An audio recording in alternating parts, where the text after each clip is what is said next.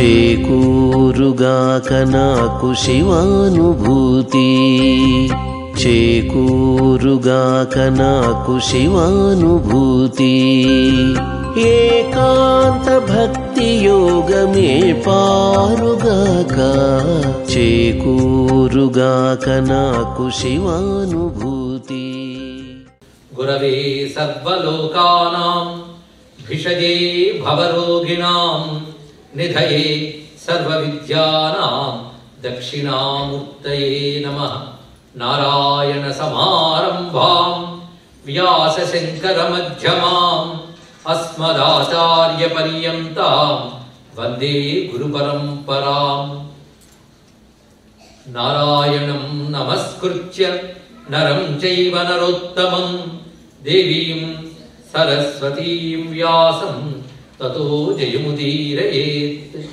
यज्ञे स अच्युत गोविन्द माधव अनन्तकेशव कृष्णविष्णो हृषीकेश वासुदेव नमोऽस्तु ते।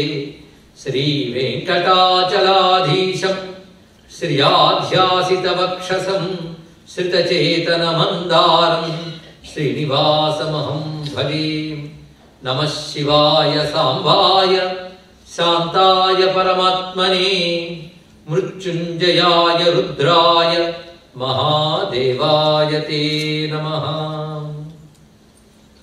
श्रुतिस्मृतिपुराणानामालयं करुणालयं नमामि भगवत्पादशङ्करं लोकशङ्करम्। शिवाय गुरवे नमः शिवाय गुरवे नमः। शिवाय गुरवे नमः। श्रीमात्रे नमः। श्रीमात्रे नमः। श्रीमात्रे नमः। श्रीविष्णुरूपाय नमः शिवाय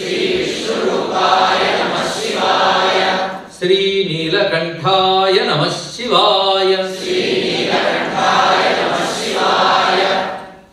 నమో మహద్భ్యో శుభ్యో గురుభ్యో నమ. అది సుమన అంటే పుష్పములు. మూడు అర్థాలు ఉన్నాయి. పుష్పములు దేవతలు మంచి మనస్సున్న యోగులు. అది సుమనస్సేవ్య అంటే పువ్వుల్లోకెల్లా గొప్పదిగా పూజింపబడుతున్నది కనుక సుమనస్సేవ్య. ఇంకొకటి సుమనస్సేవ్య అంటే దేవతల చేత పూజింపబడేవాడు సత్పురుషుల చేత పూజింపబడేవాడే శివుడు? ఇక్కడ రెండు ప్రధాన రెండు అర్థాలు చూపించారు ఇక్కడ. గుణావిష్కృతం. గుణాల చేత ఆకర్షింపబడతాడు శివుడు. అంటే ఎక్కడ సద్గుణాలు ఉంటాయో వాళ్ళు ఆయన్ని పట్టుకుంటారు. ఎక్కడ సద్గుణాలు ఉంటాయో అక్కడ కానీ వస్తాడు. రెండు చూపించారు ఇక్కడ. గుణాలు ఆకర్షిస్తాయంటే గుణాలు శివుడు లాగుతాయి. శివుడు ఆ గుణాలని స్వీకరిస్తాడు రెండు విధాలుగా సద్గుణాలు ఉంటేనే శివుడి వైపు ఆకర్షింపబడతాం. సద్గుణాలు ఉంటేనే శివుడు నీ పట్ల ఆకర్షితుడవుతాడు ఇక్కడ. గుణావిష్కృతం అనే మాట అంతా చక్కగా చెప్పారు. ఇది శివపరంగా. గుణము అంటే తాడని అర్థం ఇక్కడ. గుణావిష్కృతం అంటే ఆ మల్లెని దండ కట్టినప్పుడు ఆ తాడు చేత ఆకర్షించి చేస్తావు కదా అది గుణావిష్కృతం అనే మాటలు చూపించాడు మల్లెపరంగా దారానికి కట్టబడినది అని అర్థం. శివపరంగా సద్గుణాలు కట్టుబడిపోయేవాడు అని అర్థం ఇక్కడ. రెండు అర్థములు చూపించారు. గుణావిష్కృతం. అలాంటి శ్రీశై శ్రీగిరి మల్లికార్జున మహాలింగం శివాలింగితం. అమ్మవారి చేత ఆలింగనం చేసుకోబడ్డ ఆ మల్లికార్జున మహాలింగ రూపుడైన శివుని సేవిస్తున్నాను. ఇంత దివ్యమైన శ్లోకం కనుక పారాయణ యోగ్యమైన శ్లోకాన్ని మరొక్కసారి చదువుకుందాం. సంధ్యారంభ విజృంభితం శృతి శిరస్థానంతరాధిష్ఠితం సప్రేమ భ్రమరాభిరామమసకృత్సద్వాసనాశోభితం భోగీంద్రాభరణం సమస్త సుమన పూజ్యం గుణావిష్కృతం సేవే శ్రీగిరి మల్లికార్జున మహాలింగం శివాలింగితం. వెంటనే రెండవ శ్లోకం కూడా మన మల్లికార్జునుడి మీద రచించారు. ఇక్కడ మరొక భావాన్ని చూపిస్తున్నాడు. భృంగీక్షానటనొక్కట కరిమదగ్రాహి స్ఫురన్ మాధవాహ్లాదో నాదయితో మహాసితవపు పంచేషు నాచాదృత సత్పక్షస్సు మనోవనేషు సపునః సాక్షాన్మదీయే మనోరాజీవే భ్రమరాధిపో విహరతాం. శ్రీశైలవాసీ విభు శ్రీశైలవాసీ విభు. ఇందులో శివుణ్ణి ఒక తుమ్మెదతో పోల్చాడు ఇక్కడ. ఇందాకేమో పువ్వుతో పోల్చాడు ఇప్పుడు తుమ్మెదతో పోల్చాడు. కవి అంత కట్టుకుడంటే అటు ఇటు కూడా మార్చాడు అది కవిత్వంలో అంత గొప్పతనం ఉంటుంది. తొమ్మిది అయినప్పుడు తొమ్మిది లక్షణాలన్నీ శివుడిలో చూపిస్తున్నాడు. ఇందులో ప్రతి పదానికి తొమ్మిది పరంగా ఒక అర్థము శివపరంగా ఒక అర్థం. భ్రమరాధిప అని మాట వేసేది ఇక్కడ భ్రమరాధిప అంటే భ్రమరుల్లో అధిపుడు అంటే తుమ్మిదల రాజు. అంటే గొప్ప తుమ్మిద అది అర్థం. ఇంకొక అర్థం భ్రమరాధిప అంటే భ్రమరాంబికాపతి రెండు అర్థాలు వచ్చేసాయి. అంటే మరో పదం వెతకక్కర్లే అందులో రెండు అర్థాలు చూడు. ఇది ఎలా ఉన్నదంటే ఒక మగ తుమ్మిద అలా విజృంభించాలంటే ఆడ తుమ్మిద ప్రేరేపణ. చూస్తే అది విజృంభిస్తుంది. అలా ఈ మగ మీద శివుడు నాట్యం చేయడానికి భృంగిక్షా నటనోత్కట. భృంగి అంటే ఆడతుమ్మిద అని అర్థం. దానితో ఉత్కటంగా నాట్యం చేస్తారు ఆ ప్రేరణ చూసి. కానీ భృంగి అంటే శివుడు పర్వతగణాల్లో ఒకడు. ఆ తొమ్మిదికి ఆడ తొమ్మిది సహాయం అయిపోయింది. కానీ ఇక్కడ భృంగి శబ్దాన్ని శివపరంగా చెప్పాలంటే భృంగి. భృంగి నంది అనే వాళ్ళు శివుడు తాండవం చేసే ముందు వాళ్ళిద్దరు వస్తారు. అందులో బహుపరాకులు చెప్పి అందరికి హెచ్చరిక చెప్పి కూర్చోబెట్టి స్టేజ్ సిద్ధమైందయ్యా రావయ్యా అని పిలుస్తారు. వాళ్ళు భృంగి ప్రధానంగా ఉంటారు. కానీ భృంగి ఆ నాట్యానికి తగ్గట్టుగా ఏర్పాటు చేసి ఇంకా మీరు రావచ్చు అనగానే ఆ భృంగి మనస్సును తెలుసుకుని వస్తాడు శివుడి నాట్యానికి. అది భృంగి ఛా నటనోత్కట. అలాగే తుమ్మెదలు ఏనుగు మంచి ఏనుగు యొక్క చెక్కిళ్ళ నుంచి జారే మదజలాన్ని ఆస్వాదిస్తాయి. తుమ్మిద మకరందాన్ని ఆస్వాదిస్తున్నట్లే ఏనుగు యొక్క మదజలాన్ని ఆస్వాదిస్తాయి. దాన్ని గ్రహించుట అని అర్థం. అలాంటి తుమ్మిద లక్షణం కరి మదగ్రాహి కరి మదగ్రాహి ఏనుగు యొక్క మదజలాన్ని గ్రహించున్నది ఏది?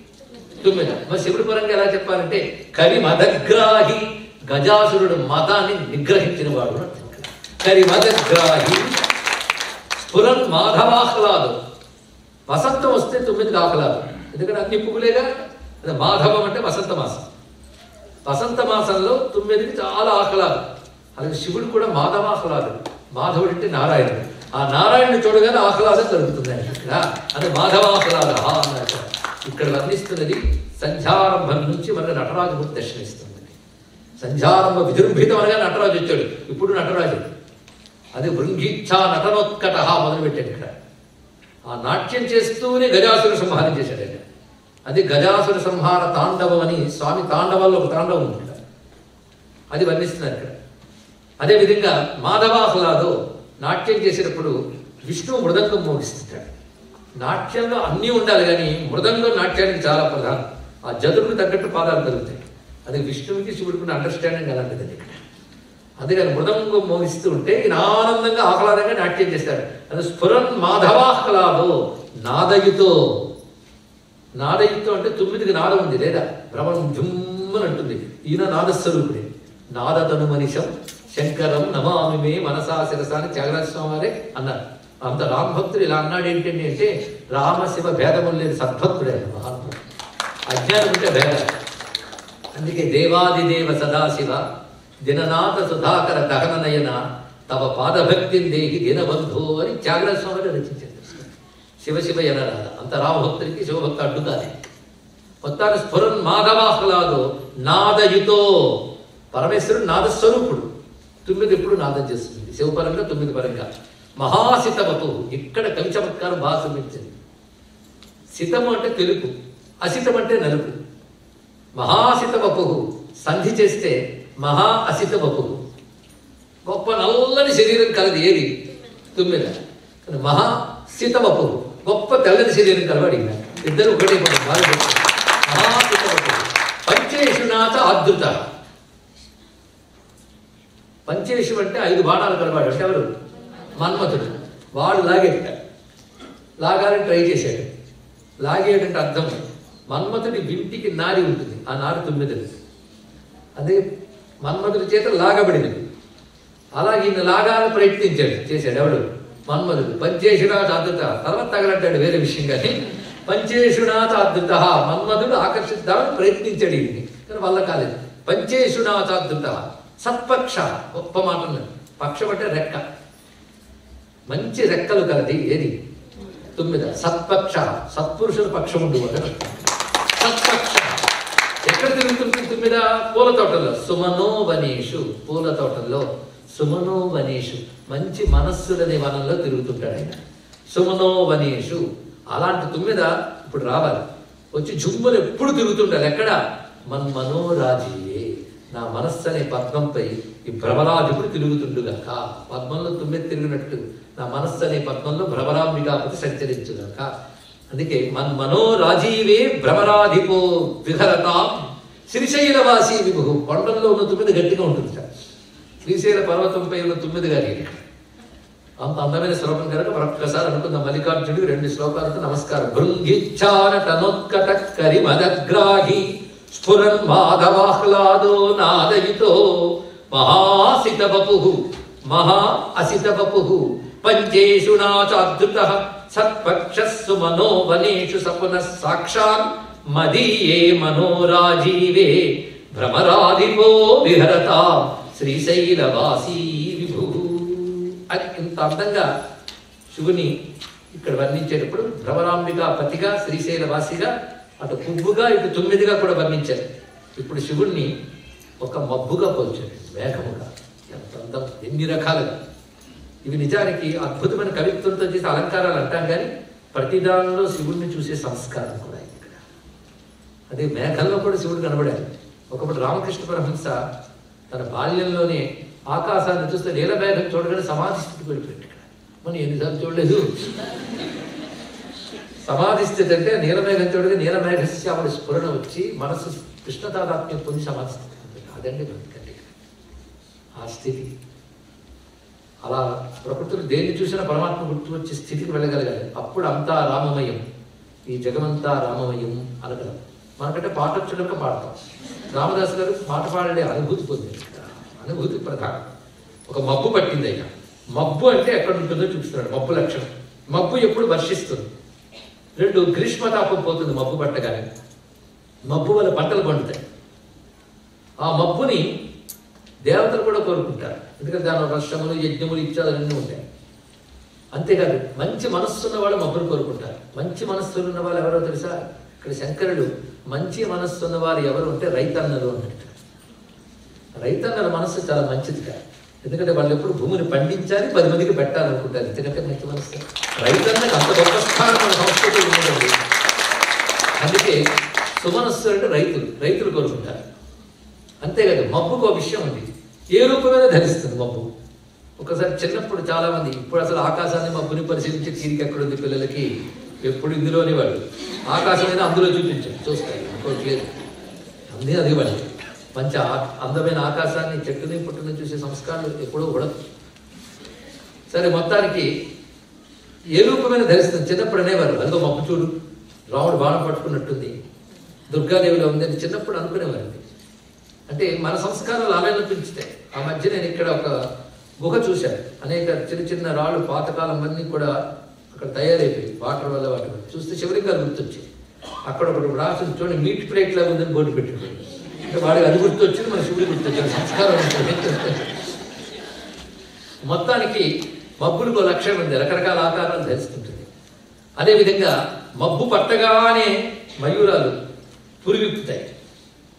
మబ్బుకు మెరుపుంటుంది మబ్బును చక్కగా చూడాలంటే కొండ కొమ్మల మీద మబ్బు తిరుగుతుంటుంది ఎక్కువగా.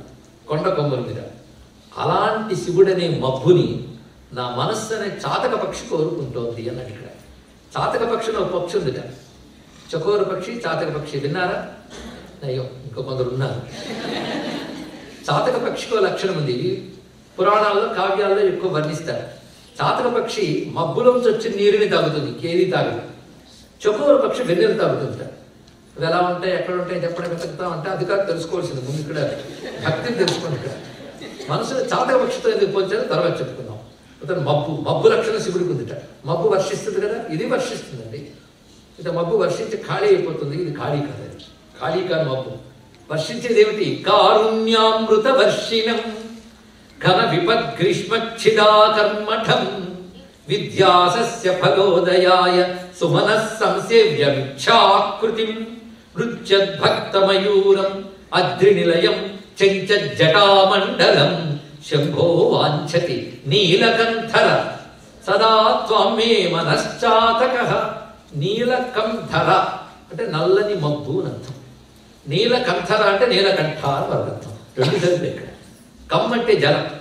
కం ధర అంటే జలమును ధరించినది అనగా మేఘము అని అర్థం కాదు నీలకంధరం అంటే దట్టమైన నల్లని మబ్బు. నల్లని మబ్బు అయితేనే కురుస్తుంది అది తెల్ల మబ్బులు కనిపిస్తే ఆశయం ఉండక్కర్లేదు కురిగింది నీలకంధర అని చెప్పడంలో నల్లని మబ్బు వంటి శివ అని అర్థం. ఏ నీలకంఠ అని అర్థం. రెండు చూపిస్తుంది అయితే ఇక్కడ ఈ మేఘం నుంచి కురిసేది ఏంటంటే కారుణ్యామృత వర్ష్యం కరుణ అని అమృతాన్ని వర్షించే మేఘమతి. కారుణ్యామృత వర్ష్యం ఘన విపద్గ్రీష్మచ్చిదా కర్మటం మబ్బు పట్టగానే వేసవి తాపం పోతుంది. అలాగే ఆపదలనే తాపం శివుడనే మబ్బు మనసులోకి రాగానే పోతుంది ఇక్కడ. అది దాని యొక్క లక్షణం. శివుడని శివుడిని మబ్బు పట్టాలి మనస్సు అనే ఆకాశంలో. పట్టగానే ఆపదలనే తాపం పోతుంది. ఘన విపద్గ్రీష్మచ్చిదా కర్మటం విద్యాసస్య ఫలోదయాయ. ఈ మబ్బు పడితే పండేది ఏమిటంటే జ్ఞానం అనే పంట పండుతుంది శివానుగ్రహం వల్ల జ్ఞానం కలుగుతుంది. అది విద్యాసస్య ఫలోదయాయ.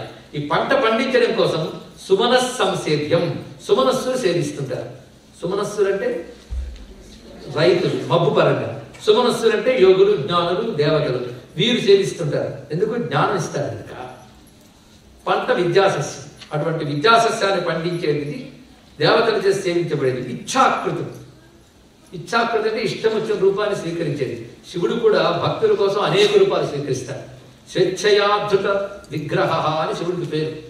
ఏ రూపం లేనివాడైనా భక్తుల కోసం ఏ రూపమైనా ధరించగలిగేవాడైనా ఎన్ని రూపాలంటే అచ్చ మబ్బు వలని ఇచ్ఛాకృతి నీ నీ భక్తికి అనుగుణంగా ఏ రూపమైనా స్వీకరిస్తాడు. అది ఇచ్ఛాకృతి మయూరములు. ఒక్క మయూరం కాదు గోల్డ్ మయూరాల మబ్బు చూసేప్పుడు పుల్లు విప్పేస్తున్నాయి. ఏమిటా మయూరాలంటే నృత్య భక్త మయూరం. భక్తులు అనబడే మయూరాలు ఆ పురులు విప్పేసి ఆ శివుడు అనేటటువంటి మేఘాన్ని చూసి మురిసిపోతుంది. నృత్య భక్త మయూరం. ఎక్కడుంది అంటే అద్రి నిలయం కొండపై ఉంది. అంతే కదా? మబ్బులు కొండ మీద స్పష్టంగా కనబడతాయి. ఈయన కూడా కొండ మీద ఉన్నాడు ఎక్కడ? కైలాసగిరిపై ఉన్నాడు. అందుకే అద్రి నిలయం. మబ్బుకి మెరుపులు ఉంటాయి కదయ్యా అంటే ఈ మబ్బుకు కూడా మెరుపులు ఉన్నాయి చెంచ జటామంటారు అది జడలు కెంపుల్లో ఉంటాయి. జటా కటా రసం భ్రమ భ్రమ నిలింపని జరి విలోల వీచి వల్లరి విరాజమాన మూర్ధని జగత్ జగత్ ధగత్ జ్వలల్లలాట పట్టపావకే కిశోర చంద్రశేఖరే రతి ప్రతిక్షణం మమ. ఆ తిరుగుతున్న జడలు విసురుతూ ఉంటే మెరుపు తీగల్లో ఉన్నాయి. నాట్యం చేసినప్పుడు విసురుతారు కదా. ఆ జడలు అలా తిరుగుతూ మెరుపు తీగల్లో ఉన్నాయి. కనుక మెరుపు ఉండాలి కదా మబ్బుకి? మా శివుడికి మబ్బు కూడా మెరుపులు ఉన్నాయి అలాంటి శివుడనే మబ్బుని నా మనస్సు అనే చాతకం కోరుకుంటుందయ్యా ఎంత అద్భుతమైన మాట. చాతక పక్షి లక్షణం ఏంటంటే మబ్బు నుంచి వచ్చి నీరే తాగుతుంది. దానికోసం తలకిందులుగా ఉండి అలా నోరు తెరిచి మబ్బు దగ్గర ఉంటుంది. అది నీరు చుక్కబడితే తాగుతుంది. అరే ఇక్కడ గోల్డ్ అంత నీరుని భూమి మీద రా అంటే రాదు. అంటే మబ్బు కురవకపోతే చచ్చిపోతుంది కానీ భూమి మీద రానంటుంది. అది గొప్ప విషయం. చావనైనా చస్తుంది కానీ మబ్బును వదులుతుంది ఇక్కడ.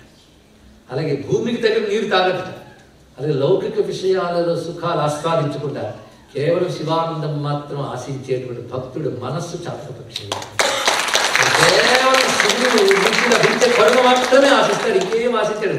లోపల నీకేం అక్కర్లేదు. నీకు ఇది ఇస్తా నాకు అది ఇస్తా నాకేం అక్కర్లేదు. భగవద్ అనుగ్రహం మాత్రమే కావాలి. ఆయన కృపామృత వృష్టి మాత్రమే కావాలి. అనుకనే అనన్య భక్తి రూపమైన హృదయం చాతక పక్షిగా చెప్పబడుతుంది. అంత రమ్య భావం ఇందులో చూపించాడు. నేను చాలా సందర్భాల్లో చూశాను. మంచి కరువు తీవ్రమైన తాపంలో సరిగ్గా ఈ శ్లోకం చెప్పినప్పుడు చక్కగా వర్షం కురిసేదండి వినయ కుమారు శ్లోకాలు. అటువంటి దివ్యమైన శ్లోకాన్ని శ్లోకానికి నమస్కారం చేసుకుంటూ పరమేశ్వరుడు యొక్క తాండవాన్ని ఎన్ని రకాలుగా వర్ణిస్తాడో వరుసగా. ఇక్కడ నుంచి తాండవ శ్లోకాలు ఎక్కువ ఉన్నాయి. ఎందుకంటే స్వామి రూపాల్లో నటరాజు రూపం చాలా విశేషం. అయితే అవన్నీ వర్ణిస్తుంటే తాండవం అంతా అయిపోతుందేమో అని కొంచెం దిగులుతో దాటక తప్పలేదు. ఒకటో రెండో చెప్పుకోవాలి. యాభై నాలుగు రెట్లు సంధ్యాఘర్మ దినత్యయో హరికరాఘాత ప్రభూతానకధ్వానో వారిద గర్జితం దివిషదా దృష్టి ఛటా చంచలా భక్తానాం పరితోష బాష్ప వితతిర్వృష్టిర్మయూరీ శివ. యస్మిన్నుజ్వల తాండవం విజయతే. తం నీలకంఠం భజే తం నీలకంఠం భజే. నీలకంఠం అంటే మనం ఏమంటారు చెప్పుకున్నాం నల్లని కంఠం వాడు. ఇంకో అర్థం మబ్బు ఇంకొక అర్థం నెమలి. నెమలికి నీలకంఠం అని పేరు. ఇక్కడ శివుడు నెమలితో పోల్చాడు ఇక్కడ.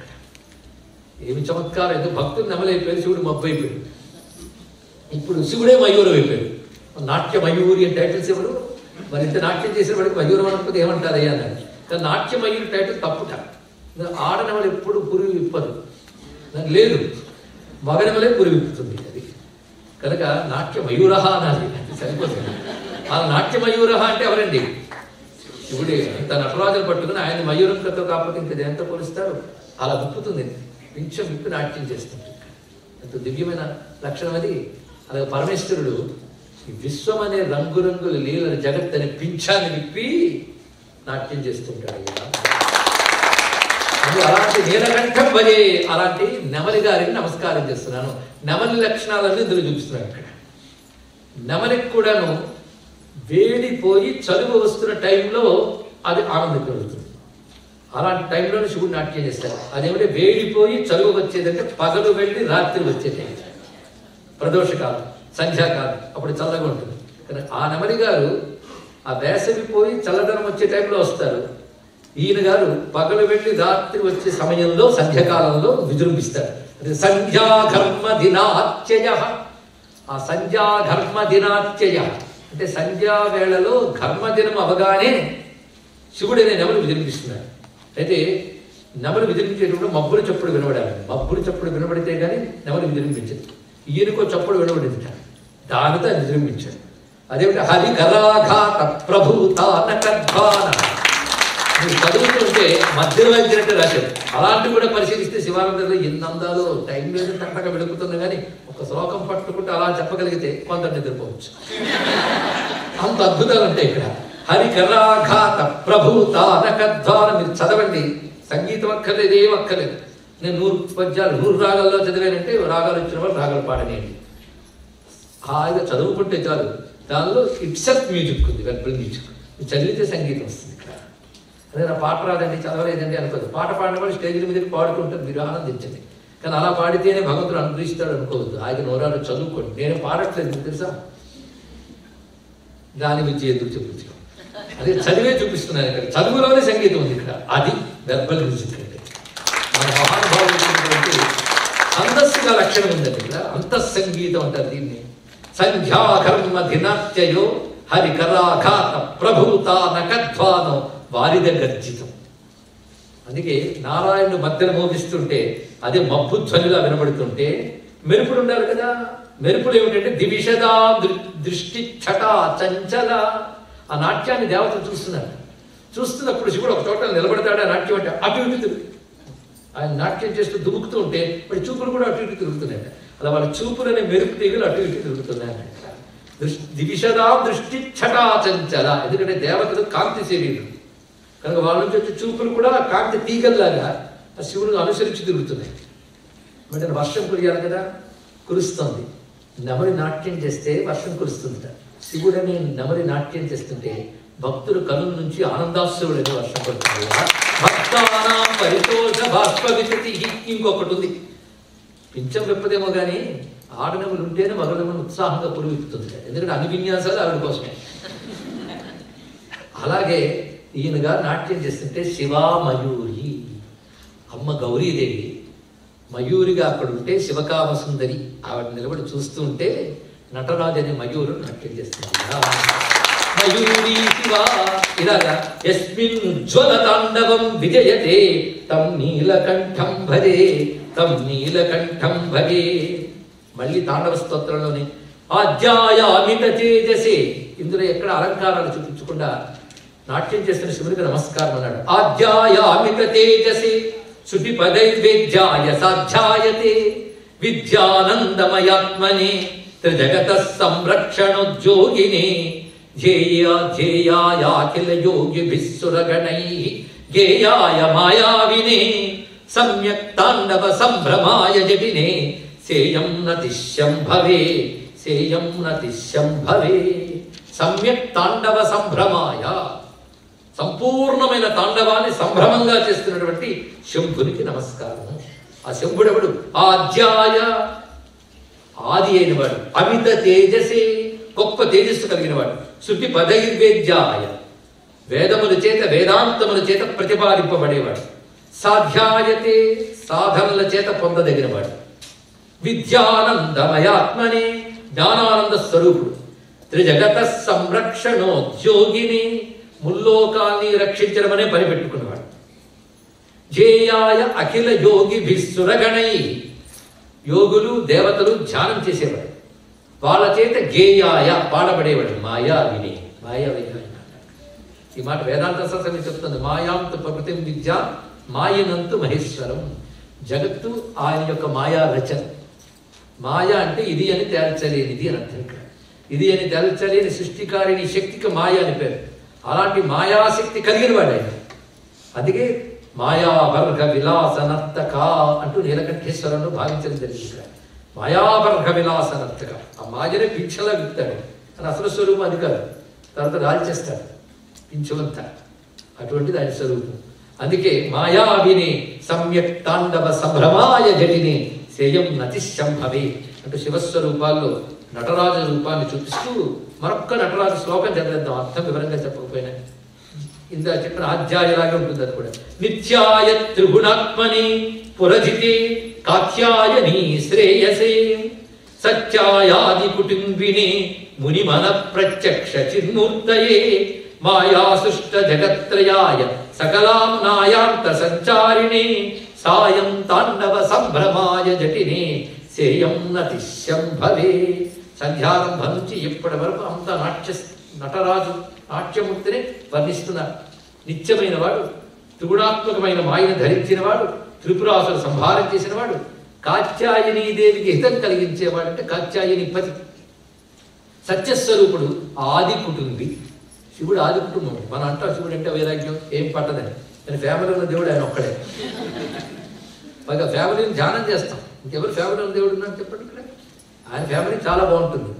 మంచి ఇద్దరు పిల్లలు ఒక ఘటికుడు ఏ విఘ్నమైనా నా పక్క చేసేటట్టు.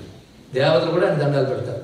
రెండవ ఆయన దేవతల్ని శానం చేసుకుని నడిపించాడు. తారకాసు సంపాదించాడు ఇలాంటి గట్టి పిల్లలు ఇద్దరు ఉన్నారు. దానితో జగన్మాత సర్వమంగళ అన్నపూర్ణమ్మ. ఇల్లాలంటే అన్నపూర్ణమ్మ లక్షణం. ఆవిడ దగ్గర ఉంది. అటువంటప్పుడు భర్త ఆయన ధ్యానం చేసుకుని ఏం చేస్తాడండి కట్టుకునేది పిల్లలు అన్ని చూసుకుని భార్య ఉంటే ఆయన అలాగే ఉంటాడు. మంచి కుటుంబం. అందుకే సత్యాయాది కుటుంబిని ముని మన ప్రత్యక్ష చిన్మూర్తయే మునుల మనస్సులో చిన్మూర్తిగా ప్రత్యక్షమగవాడు.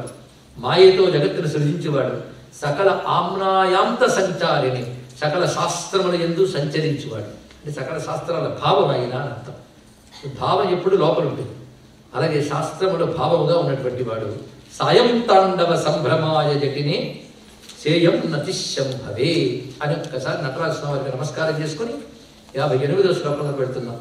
ఏకో వారిజ బాంధవ క్షితినభో వ్యాప్తం తమో మండలం భిత్వా లోచన గోచరోపి భవతి త్వం కోటి సూర్య ప్రభ వేద్యక్యం న భవస్య హో ఘనతరం కిదృగ్భవేన్మత్తమ తత్సర్వం వ్యపనీయమే పశుపతే సాక్షాత్ ప్రసన్నో భవ ఏమిటయ్య బడాయి కాకపోతే నిన్న అందరూ కోటి సూర్య ప్రతీకాసహ అంటుంటారు.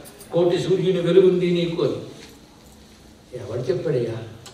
నేను నమ్మను కోటి సూర్యుడు వెలుగుంది వెలుగుంది అంటూ ఉంటే అనేయడమే. ఒక్క సూర్యుడు ఉన్నాడు. ఆయన ఎంత బాగా ప్రకాశిస్తున్నాడు? ఏకో వాణిజ బాంధవ. ఒక్క సూర్యుడు. అతడే ఆకాశంలో కనిపించినప్పుడు ఆకాశం అంతా ఆయన వ్యాపించిపోతాడు. భూమి నిండా ఆయన వెలిగి వ్యాపింపజేస్తాడు ఒక్క సూర్యుడు బయట ఉన్న అనంతమైన ఆకాశాన్ని విస్తారమైన భూమిని ప్రకాశింపజేస్తున్నాడు మీరు కోటి సూర్య ప్రతీకాశం మనస్సులో ఉన్నారట. కానీ మనస్సులో అజ్ఞానం చీకటి ఇంకా పోగొట్టట్లేదయ్యా నువ్వు అంత ప్రకాశిస్తున్నావే ఇంకా అజ్ఞానం తొలగట్లేదయ్యా అన్నాడు. ఈ ఆర్తి కలగాలండి మనలో ఆర్తి ఉంటే అనిపించేస్తాడు మనం ఏదో పుస్తకాలను చదివేస్తాం కానీ విధంగా అజ్ఞానం తీసేస్తానంటే ఎంతమంది రెడీ ఉన్నారు ఇక్కడ? మనవుడు పెళ్ళి ఆలోచిద్దాం శివ అంటాం. ఎందుకంటే అజ్ఞానం తీసేస్తే మోక్షమే. అది ఇప్పటి నుంచి పోతే ఎలాగా? అందరి కోసం ఏడవాలి? ఎంత మోహం? ఇప్పుడు పిల్లలకి కోసం ఏడుస్తున్నాం. తర్వాత పిల్లలు పిల్లలు పుడితే వాళ్ళ కోసం ఏడవద్దు. కానీ ఇప్పటి నుంచి అజ్ఞానం తీసేస్తే అలాంటి కష్టాలు ఉండండి. ఈ టైపు. అందుకే అందరికి తీయడు ఆయన కూడా. ఎందుకంటే నిజంగా అడుగుతున్నారా? పైపైన అడుగుతున్నారా? ఏదో పుస్తకాలు చదివినప్పుడు ప్రవచనం విన్నప్పుడు అనిపిస్తుంది. పరమాత్మ తప్ప ఇంకేం పట్టలేదు. ఎప్పుడు? ఆఫ్టర్ లెవెన్ థర్టీ చూద్దాం. తేలిక? మహా కష్టం అందుకని పోవడం అంత తేలిక కదండి అని ఇంకా పోవట్లేదయ్యా అన్నాడు. ఈ చీకటిని వర్ణిస్తూ భర్తృహరి అత్యద్భుతంగా చెప్తాడు ఒక చోట అంతఃస్ఫుర్జదపార మోహతిమిర ప్రాగ్భావం ప్రాగ్భావన అంత పెద్ద వాడాడు మరి చీకటి అంత డెన్సిటీగా ఉంది పదం కూడా అలాగే ఉంది. ఇక్కడ. మోహతి మీరు ఈ చీకటి ఎక్కడ బయట లోపల ఉంది మొత్తం చీకటే. ఆ చీకటికి టైటిల్ మోహం. ఈ మోహం ఎన్ని జన్మల నుంచి అలవాటు అయిపోయిందో తెలుసా? అందుకే ఈ జన్మలో భగవంతుడి గురించి చెప్తే ఎందుకు పట్టట్లేదంటే ఎన్నో జన్మల అజ్ఞానం అలవాటు అయిపోయింది కానీ భగవంతుడు అలవాటు కాలేదు. అలవాటు కాలేదు మీరు ఎలా చెప్తారంటే అలవాటు ఉంటే పుట్టేవాడు ఇంకా. అలవాటు కాలేదు కనుక అజ్ఞానం అలవాటు అయిపోయింది అలవాటైపోయిన అజ్ఞానం లోపల పేరుకుపోయింది ఆ చీకటి. అలాంటి గట్టి చీకటి పోవాలి అంటే ఒక్క ఈశ్వరుడు ప్రకాశం రావాలి. ఈ ప్రకాశం సామాన్యం కాదు కోటి సూర్య ప్రకాశం అంట. ఏది? ఒక్క సూర్యుడే అంతా ప్రకాశిస్తున్నాడు. కొన్ని కోటి సూర్యులు అన్నప్పుడు లోపల చీరలు కూడా ఎందుకు పోగొట్టట్లేదయ్యా అని అనడంలో ఏంటంటే "కొ- తొందరగా పోగొట్టవయ్యా అని ఆర్తీయులు కనబడుతున్నాడు అదే స్వామి ఏకో వారిజ బాంధవ క్షితి నభో వ్యాప్తం తమో మండలం భిత్వ లోచన గోచరు. కంటికి కనబడతాడు ఆయన. తమ కోటి సూర్యప్రభ ఆయనలో ఉన్నప్పుడు కోటి సూర్యులు వినవాడివి నువ్వు ఎందుకయ్యా నాకు తెలియబడట్లేదు? ఎందుకు అనుగ్రహించట్లేదయ్యా? పశుపతే నాకు నీ మీద నమ్మకం పోలే. నువ్వు నా పట్ల ప్రసన్నుడు. ఈ తమస్సును పోగొట్టు. వేద్యక్కిం న భవస్య భో ఘనతరం కిదృగ్భవేన్మత్తమ తత్సర్వం వ్యపనీయ మే పశుపతే సాక్షాత్ ప్రసన్నో భవ. ఈ లోపలున్న అజ్ఞానాంధకారానికి సంస్కృతంలో పేరుందండి అంతరతమః అని అర్థం. ఈ అంతరతమస్య ఎలా ఉంటుందో ఒక తోట శాస్త్రమే చెప్తుంది వేదాంత శాస్త్రం. ఉజ్జంతు శతమాదిత్యా ఉజ్జంతు శతమిందవ నవీనా విదుషైర్వాక్యై నశ్యత్ నశ్యత్ సభ్యంతరం తమ నశ్యతి అభ్యంతరం తమః నశ్యత్యభ్యంతరం తమః అభ్యంతరతమం లోపల ఉన్న చీకటి వంద సూర్యులు వెలిసినా పోదు వంద చంద్రులు వచ్చినా పోదు. మహాత్ముల యొక్క వాక్యములనే కాంతి కిరణాల వల్ల మాత్రమే పోతుంది. వారు చెప్పిన జ్ఞానం ఎవరిది? శివజ్ఞానమేగా? తన శివుడు ఒక సూర్యుడిలా ఉంటే ఆయన నుంచి వచ్చిన జ్ఞానం అంతా కిరణాల్లో ఉంది. ఆయన ఉదయిస్తే కానీ పోదు. అది ఆయన ఉదయింపజేసుకోవడానికి ప్రార్థన ఇదంతా కూడా. అదే చిత్తాభ్రమహావీధిని శివ సూర్యోదయం కావాలంటే ఇక్కడ శివుడు అనే సూర్యుడు చిత్తం అనే ఆకాశంలో ఉండాలి. ఇంత రమ్యమైనటువంటి భావాన్ని ఇక్కడ చూపించారు. అరవై శ్లోకం. ఇందులో మనస్సుని శివుణ్ణి ఆశ్రయించు అని చెప్తున్నాడు ఎందుకంటే అసలైన దిక్కు శివుడేనయ్యా. దీని ముందు యాభై తొమ్మిదిలో ఇలాంటి భావం ఉంది. రెండు కలిపి చెప్పుకున్నాం అందరూ ఆశ్రయిస్తారా? హంస ఒక్కటే పద్మవనాన్ని ఆశ్రయిస్తుంది. చాతకం ఒక్కటే నీల మేఘాన్ని ఆశ్రయిస్తుంది. అదేవిధంగా చకోరం ఒక్కటే చంద్రుడిని ఆశ్రయిస్తుంది. ఇలా ఒక్కొక్కటి ఒక్కొక్క దాన్ని ఆశ్రయిస్తుంటాయి. చక్రవాక పక్షి సూర్యుడిని ఆశ్రయిస్తుంది. చక్రవాక పక్షి ఉంటుంది. అది సూర్యకిరణాల ఆహారం తీసుకుంటుంది. ఇవన్నీ ఉన్నాయా అంటే ఉంటాయి. మనకు తెలిసిన జ్ఞానం ఎంత ఉన్న పిచ్చుకలను కూడా బతకనిపట్లేదు మనం. టెక్నాలజీ పేరుతో పక్షుల జ్ఞానం మనకు తెలియదు మన పూర్వ కవులు ఋషులు ఎంత అబ్జర్వ్ చేశారో ప్రకృతిని. అందుకే ఇన్ని రకాల పక్షులు వాటి వెరైటీస్ వాటి జీవన విధానం వాటి ఆహార విధానం ఇన్ని చెప్పారండి సూర్యకిరణాలను మాత్రమే భుజిస్తూ అన్నం పానం కూడా పుచ్చుకోకుండా నూరేళ్ళ పైన బ్రతికినటువంటి యోగులు నేర్చుకున్నారు భారతదేశం అదో ప్రక్రియ.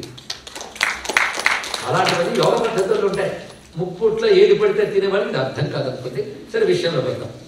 హంస పద్మవనం సమిచ్చతి యథా నీలాంబుదం చాతక కోక కోకరద ప్రియం ప్రతిదినం చంద్రం చకోరస్తదా చేతో వాంఛతి మామకం పశుపతే చిన్మార్గమృగ్యం విభో గౌరీనాథ భవత్పదాబ్జయుగళం కైవల్య సౌఖ్యప్రదం ఇందులో ఎన్ని అందమైన భావాలు చెప్పాడు పరిశీలించారు స్వామి నా మనస్సు నిన్ను కోరుకుంటుంది. నీ పాదపద్మాన్ని కోరుకుంటుంది. ఎలాగో అంటే హంస పద్మవనాన్ని ఎలా కోరుకుంటుందో చాతకము నీటి మబ్బుని ఎలా కోరుకుంటుందో చక్రవాక పక్షి సూర్యుని ఎలా కోరుకుంటుందో చకోరము చంద్రుని ఎలా కోరుకుంటుందో అలాగా ఉపమానం చెప్పడంలో అర్థం ఏంటి నాలుగెందుకు చెప్పాడయ్యా? అంటే వీటికి సహజ బంధం ఉందయ్యా అని చెప్తున్నప్పుడు సహజం. నేను బలవంతంగా కాదు అత్యంత సహజంగా ఆకర్షింపబడతాయి ఇవన్నీ కూడా. అందుకే హంసని మీరు ఎంత చెప్పినా మంచి పద్మాలు నిర్మలమైన సరస్సుకు పెడుతుంది ఇంకోవైపు వెళ్ళదు ఇక్కడ. కనుక అక్కడ ఒక హం పద్మవనం ఉందంటే హంస అటే పరిగెడుతుంది. దానికి సరైన ఆశ్చర్యం అది. అది కోరుకున్నది అది. అది స్టాండ్ అయ్యేది అక్కడే ఇంకెక్కడ అది రెస్ట్ అయ్యేది కూడా అక్కడే. అందుకే హంస పద్మవనాన్ని కోరుకున్నట్లుగా అంటే నా మనస్సుకి నిజమైన ఆశ్రయం నీ పాదపద్మాలే ఈ ప్రపంచం కాదు అనే భావం దగ్గర చూపిస్తున్నాడు ఇక్కడ నిజమైన ఆశ్రయం అది. అదేవిధంగా చాతకానికి నిజమైన ఆశ్రయం మేఘం. చక్రవాక పక్షికి నిజమైన ఆశ్రయం సూర్యకాంతి. చకోరానికి నిజమైన ఆశ్రయం చంద్రుడు. అలాగే నాకు నిజమైన ఆశ్రయం ఆ చెప్పడంలో అంత అందమైన భావాన్ని చూపిస్తున్నారు. పైగా వికసించే లక్షణానికి పద్మవనం చెప్పాడు. చల్లదనానికి సంబంధించిన లక్షణానికి నీలాంబుదని చెప్పాడు. కాంతి జ్ఞానము దాని సూర్యుని ఉపమానం చూపించాడు. చంద్రుడు ప్రసన్నమైన శాంతికి ఆహ్లాదమైన సంకేతంగా చంద్రుడు చెప్పాడు. నాలుగు ఉపమానాలు అందుకోసం చెప్పాడు ఇక్కడ.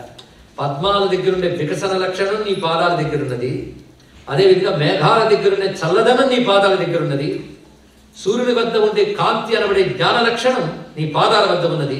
చంద్రుడి వల్ల ఉండే శాంతి అనబడే ఆహ్లాద లక్షణం ప్రసన్న లక్షణం నీ పాదాల వద్ద ఉన్నది. ఇన్ని లక్షణాలు కలిగిన నీ పాద పద్మాల్ని నా మనస్సు కోరుకుంటుందయ్యా అన్నాడు ఇక్కడ.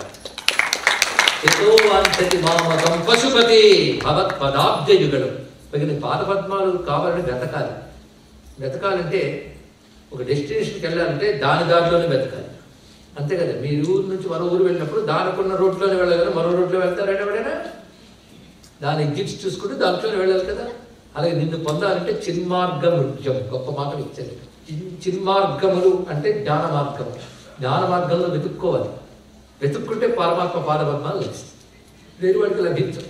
అది చిన్మార్గముగ్యం భవత్ పాదాబ్జయుగళం కైవల్య సౌక్షప్రదం ఎందుకంటే ఆ పాదాల కోసం అంత అవస్థపడటం అంటే అక్కడే కైవల్య సౌక్షం ఉంది అన్నాడు అటువంటి దివ్యమైన పాదపద్మాలకు నమస్కారం చేసుకుంటూ శివుడు మనకు ఆశ్రయ స్థానం. ఇది చెప్తున్నాడు. శివుడు అంటే ఆశ్రయ స్థానం.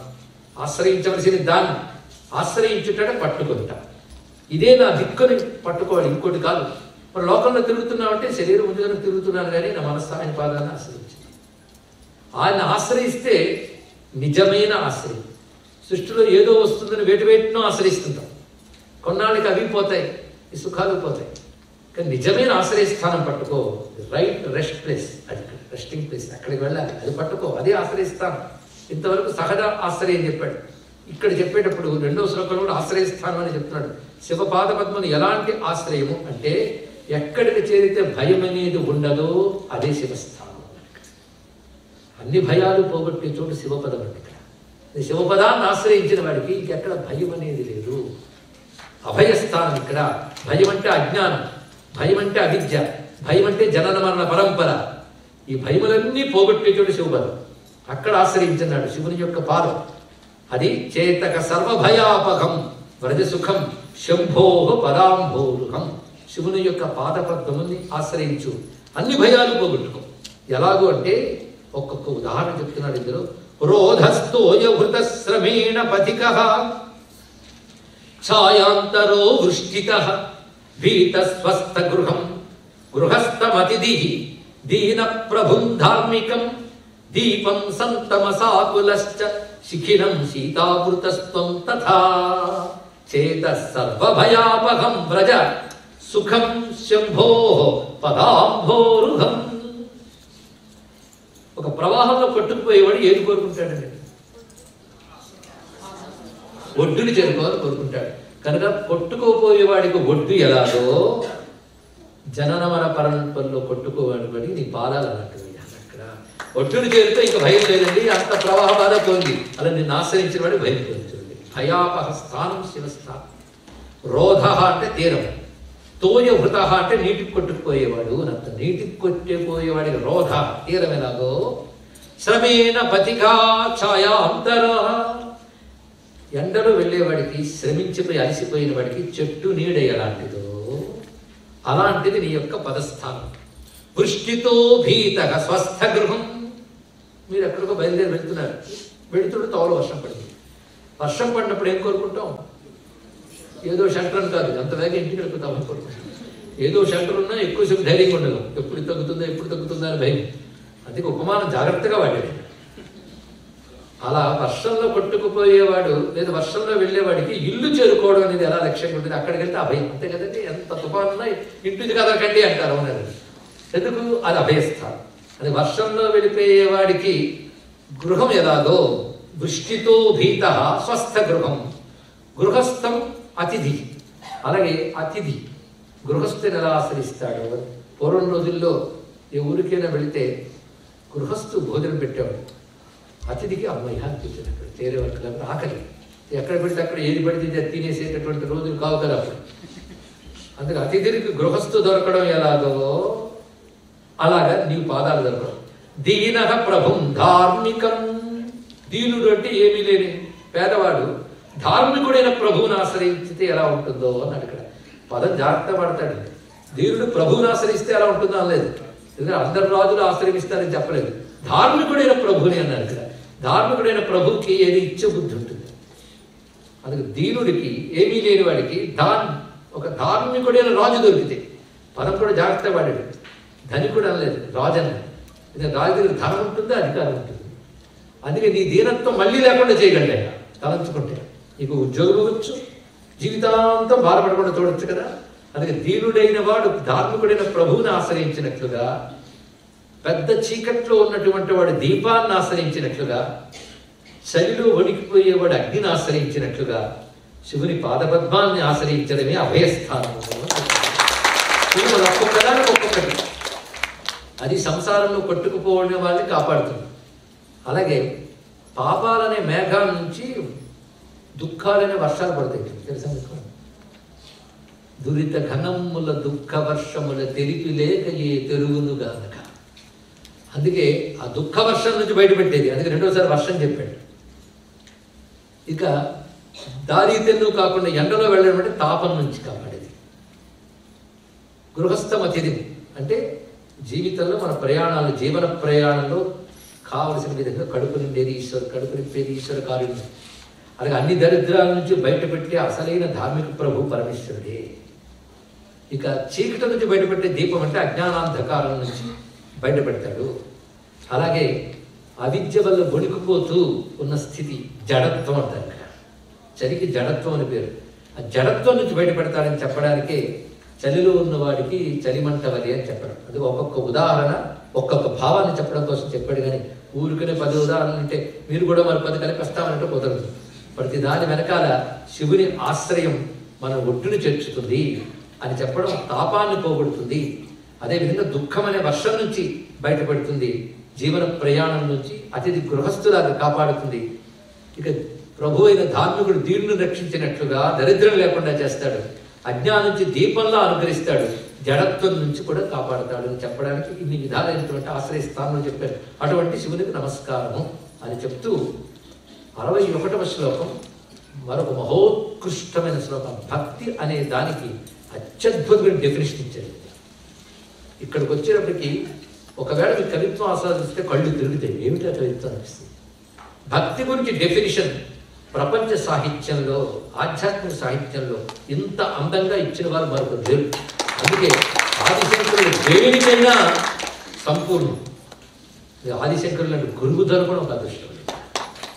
శంకరుల వాంగ్మయం వినడం శంకరులు చదువుకోవడం గొప్ప భాగ్యం. అంకోలం నిజ బీజ సంతతి రయస్కాంతోపలం సూచిక. సాధ్వీ నైజ విభుం లతాక్షితిరుహం సింధుస్సరిద్వల్లభం ప్రాప్నోతి యథా తథా పశుపతే పాదారవిందద్వయం. చేతో వృత్తిరుపేత్య తిష్టతి సదా. సా భక్తిరుచ్యతే ఇప్పుడు చెప్పుకున్న రెండు చివరి శ్లోకాలు మీరు పరిశీలిస్తే ఉదాహరణలు నాలుగో ఐదో ఆరో ఏడో ఇచ్చేశారు. ఎందుకు అన్ని ఉదాహరణలు ఇచ్చారంటే ఒక్కొక్క ఉదాహరణ ఒక్కొక్క ప్రత్యేకత చూపిస్తున్నాడు అది ఇంతకు వివరించుకున్నాం తాపం పోగొట్టుట ఒడ్డును పెట్టుట అంటే ముక్తినిచ్చుట ఇలా ప్రధానంగా అర్థం చెప్పుకున్నాం ఊరికే నన్ను ఉపమానాలు చెప్పలేదు. ఇక్కడ కూడా భక్తికి ఇన్ని ఉపమానాలు చెప్తున్నాడు. ఉపమానాల్లో ఒక్కొక్క దాని ఒక్కొక్క అందం ఉంది. భక్తి యొక్క స్టేజెస్ అందరూ చెప్పబడుతున్నాయి ఎంత అద్భుతంగా చెప్తున్నాడో తెలుసుకోవడానికి మనకి రేపు ఒక్కరోజు ఉంది. చేకూరుగాక నాకు శివానుభూతి. చేకూరుగాక నాకు శివానుభూతి. ఏకాంత భక్తి యోగమే పారుగాక చేకూరుగాక నాకు శివానుభూతి.